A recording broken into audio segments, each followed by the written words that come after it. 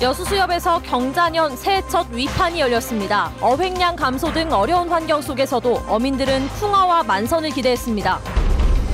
4월 총선을 앞두고 실시한 여론조사 어제에 이어 연이어 보도합니다. 지역민 10명 가운데 7명은 문재인 대통령의 국정 운영에 대해 잘한다고 평가했으며 차기 대통령 후보로는 이낙연 국무총리를 가장 많이 꼽았습니다. 이번 여론조사에서 지역 유권자들은 국회의원을 선택하는 기준으로 인물과 공약을 가장 중요하게 생각했습니다. 김영록 전남지사의 직무 수행에 대해서는 비교적 긍정적 평가를 내렸습니다. 여수 광양항의 총 물동량이 2년 연속 3억 톤을 넘어섰습니다. 하지만 컨테이너 물동량 증가세는 주춤해 항만공사의 고민이 깊습니다. 네, 시청자 여러분 안녕하십니까? 여수 MBC 뉴스데스크입니다. 경자년 새해를 맞아 오늘 여수 수협에서는 올해 첫 경매를 기념하는 초매식이 열렸습니다. 어업인들과 관계자들은 한마음으로 올 한 해 풍어와 만선을 기원했습니다. 강서영 기자가 현장을 다녀왔습니다. 아직 동이 트지 않은 새벽, 지게차가 생선 상자를 옮기느라 분주합니다. 올해 첫 경매에 앞서 어업인들과 중매인, 지역 정치인들은 한마음으로 한 해 무사 안녕과 풍어를 기원하는 고사를 지냈습니다. 올해도 2020년도에도 생산자 어민들이 많이 만선해가지고 올 한해도 작년 못지않게 우리가 다몸 건강히 사업 번창했으면 하는 생각입니다. 이윽고 새해 인사와 함께 위판이 시작됩니다. 경매사가 빠르게 가격을 흥정하고 4만 4만 4만 4만 찰나의 손짓 하나에 중도매 상인들의 희비가 엇갈립니다. 2020년 첫 번째 위판이 열린 여수수협 위판장은 그 어느 때보다 활기가 넘쳤습니다. 지난해까지 여수수협은 3년 연속 전국 회원조합 위판액 1위를 달성하는 쾌거를 이뤘습니다. 하지만 해양 생태계 변화로 인한 어족 자원 감소는 여전히 여수수협의 전망을 어둡게 하고 있습니다. 멸치 등 주요 어종의 어획량 감소로 지난해 위판액이 목표였던 2천억 원에 미치지 못했기 때문입니다. 여수수협 위판액이 3년간 꾸준히 감소하고 있는 추세도 이 같은 우려를 고조시키고 있습니다. 여수수협은 올 한해 어업인의 복지를 강화하고 유통 질서를 확립해 우려를 불식시키겠다고 다짐했습니다. 가격 지지 확대로 생산자를 보호하고 유통 질서를 확립하여 보다 편리하게 입판 업무가 이루어질 수 있도록 모든 노력을 기울여 나가겠습니다. 어족자원 고갈과 어획량 감소라는 위기에도 위판액 전국 1위 자리를 유지한 여수수협. 2020년 새해는 이 같은 위기를 뛰어넘어 풍어와 만선의 기쁨으로 침체된 수산업계에 새로운 활기가 넘치길 어민들은 바라고 있습니다. MBC 뉴스 강서영입니다. 전남 동부 지역 지자체들이 일제히 시무식을 갖고 새해 업무에 들어갔습니다. 각 시군은 오늘 직원들과 함께 올해 시정 방향 등을 공유하고 시민들을 위한 맞춤 행정을 위해 최선을 다하겠다고 다짐했습니다. 또 부패 없는 공직 사회를 만들기 위한 청렴 서약식을 열어 시민들의 신뢰를 높여가겠다고 강조했습니다. 저희 여수 MBC도 오늘 전 직원이 참여한 가운데 시무식을 갖고 지역민과 함께하는 방송사로서 공정한 총선 보도와 고품격 프로그램 개발에 노력할 것을 다짐했습니다. 네, 총선을 앞두고 전해드리고 있는 여론조사 결과 오늘은 대통령 그리고 도지사의 직무수행 평가 결과 등을 짚어봅니다. 먼저 문재인 대통령의 국정 운영에 대해 지역민 10명 가운데 7명은 긍정적 평가를 내렸습니다. 또 차기 대통령에 대한 선호도는 이낙연 총리가 가장 높은 것으로 나타났습니다. 김종수 기자가 보도합니다. 먼저 지역 내 유권자들에게 문재인 대통령의 직무 수행에 대해 어떤 판단을 하고 있는지 물었습니다. 여수 갑 선거구에선 잘하고 있다가 79.1%로 잘못하고 있다와 판단 유보 등의 답변보다 4배 가까이 높았습니다.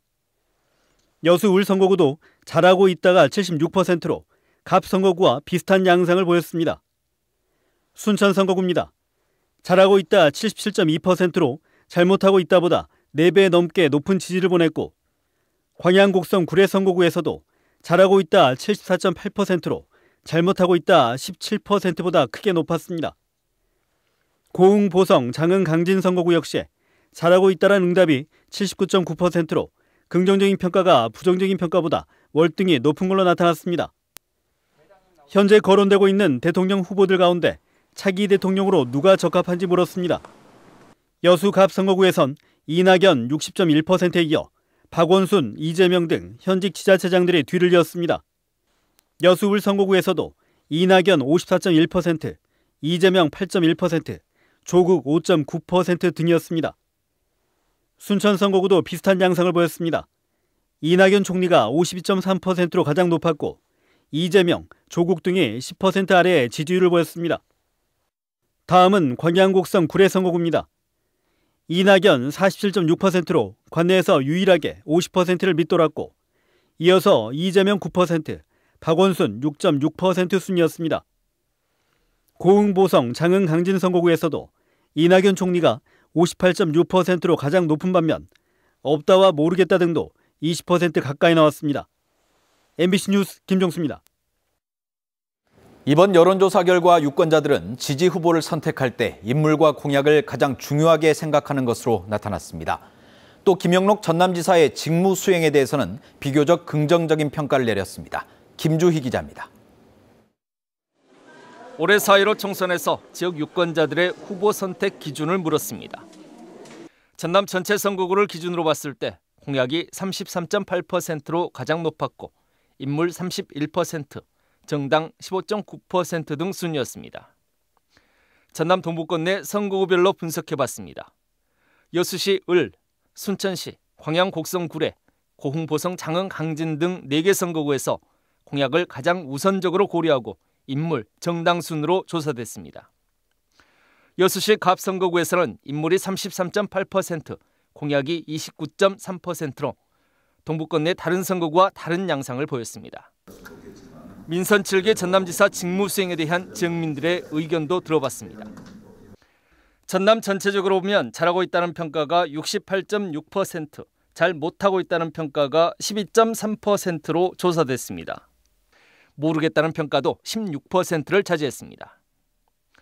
전남 동부권 5개 선거구를 중심으로 보면 잘하고 있다는 평가는 고흥, 보성, 장흥, 강진 선거구가 73.7%로 가장 높았습니다. 잘 못하고 있다는 평가는 광양, 곡성, 구례 선거구가 14.2%로 동부권 내 다른 선거구보다 상대적으로 높았습니다.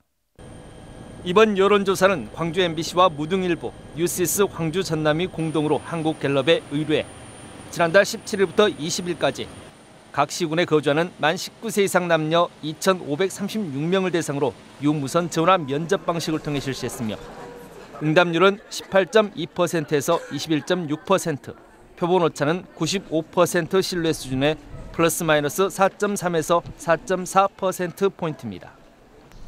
자세한 여론조사 내용은 중앙선거 여론조사 심의위원회 홈페이지에서 확인할 수 있습니다. MBC 뉴스 김주입니다. 지지부진했던 관내 연도교 건설 사업이 올해 12월쯤 재개됩니다. 국회 국토교통위원회 주승용 의원에 따르면 국토부가 최근 화태와 백야를 잇는 13km 도로 공사를 대상으로 기본조사 용역에 들어갔으며 올해 입찰 공고와 현장 설명회 등의 절차를 거쳐 12월쯤 착공에 들어갈 것으로 보입니다. 지난 2003년 기본계획이 세워졌던 화태 백야 사이 연도교 건설 사업은 사업비 축소와 국토개발계획 제외 등으로 그동안 중단돼 왔습니다. 오는 3월 여수에서 전남 최초의 수소차 충전소가 문을 엽니다. 여수시는 사업비 30억 원이 투입된 수소차 충전소가 오는 3월부터 본격적인 운영에 들어갈 예정이며 이에 따라 수소차 75대를 보급할 계획이라고 밝혔습니다.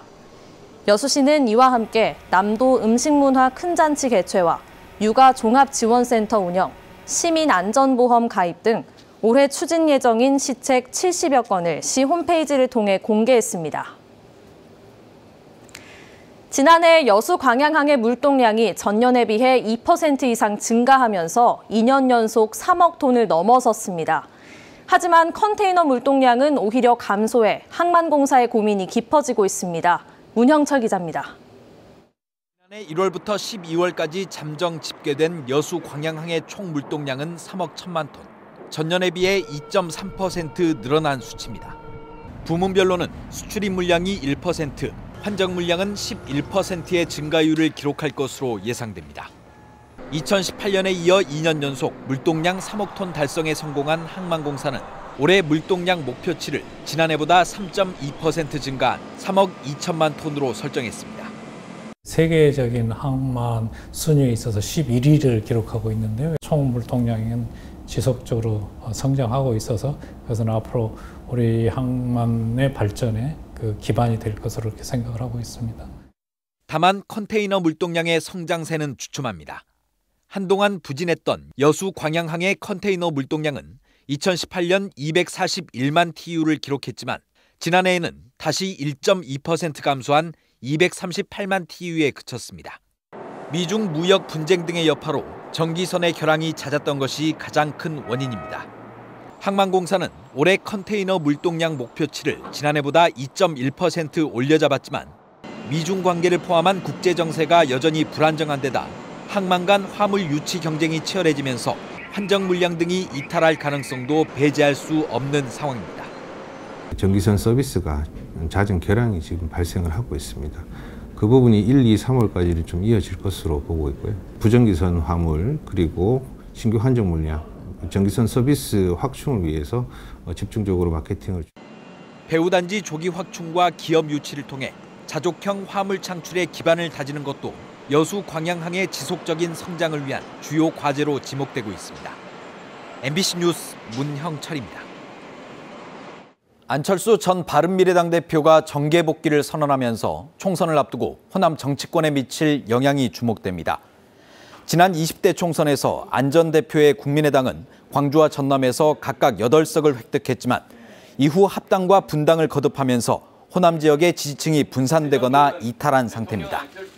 총선을 앞두고 중도 보수 세력이 추진하는 제3지대에 안 전 대표가 참여할 경우 과거 국민의당 소속 현역 의원들의 행보에도 영향을 미칠지 주목됩니다. 지역의 주요 국립대가 2020학년도 정시 모집 원서 접수를 마감했습니다. 순천대학교는 555명 모집에 모두 1,614명이 지원해 평균 3.12대 1의 경쟁률을 기록했고 간호학과가 7.64대 1로 가장 높은 경쟁률을 보였습니다. 전남대 여수 캠퍼스는 평균 2.31대 1의 경쟁률을 나타냈고 국제학부 일부 전공은 5.6대 1의 경쟁률을 기록했습니다. 정시 합격자는 각 대학 전형에 따라 다음 달 4일까지 발표될 예정입니다. 계속해서 희망 2020 나눔 캠페인에 성금을 보내주신 분들입니다. 사단법인 전라남도 5개 광고협회 여수시 지부 300만 원, 순천시 왕조 이동 1통 금당택지 한국은행 부근 주민 69만 원, 21통 송촌아파트 102동에서 104동 주민 69만 원, 20통 송촌아파트 101동 105동 106동 주민 68만 7천 원, 고흥군 복내면 축정 1구마을 주민 60만 원, 주식회사 포스코 O&M 승주 CC 임직원 1동 59만 원, 고흥군 도양읍 장수마을 주민 57만 원, 녹동 상지회 일동 50만 원, 순천시 왕조 2동 23통 중흥아파트 301동 302동 주민 50만 2천 원, 여수시 둔덕동 8통 주민 50만 원, 와이즈맨 여수 한려클럽 50만 원, 여수시 중앙동 13통 주민 36만 4천 원, 여수 엑스포 힐스테이트 아파트 1단지 부녀회 일동 30만 원, 고흥군 도양읍 도양택시 기사 1동 30만 원, 상유마을 주민 30만 원, 순천 효산고등학교 관광조리과 동아리 30만 원, 고흥군 도양읍 앞에 해운 대표 박희정 30만 원, 평화마을 주민 30만 원, 수동마을 주민 25만 원, 화양중학교 학생회 1동 17만 7,280원. 성금을 보내주신 분들께 감사드립니다. 희망 2020 나눔 캠페인은 1월 말까지 접수합니다. 시청자 여러분의 많은 관심과 참여 바랍니다. 취약계층을 대상으로 실시되는 광양시의 영양 지원 사업이 호응을 얻고 있는 것으로 조사됐습니다. 광양시 보건소에 따르면 저체중과 빈혈 등 건강 위험 요인을 갖고 있는 임신부와 영유아에게 정기적으로 보충식품을 전달한 결과 만족도와 신뢰도가 90% 이상으로 높게 나왔고 유병률도 감소한 것으로 나타났습니다. 이와 관련해 광양시는 지난해 관련 사업으로 400여 명이 혜택을 받다며 올해도 대상자 발굴에 나서겠다고 밝혔습니다.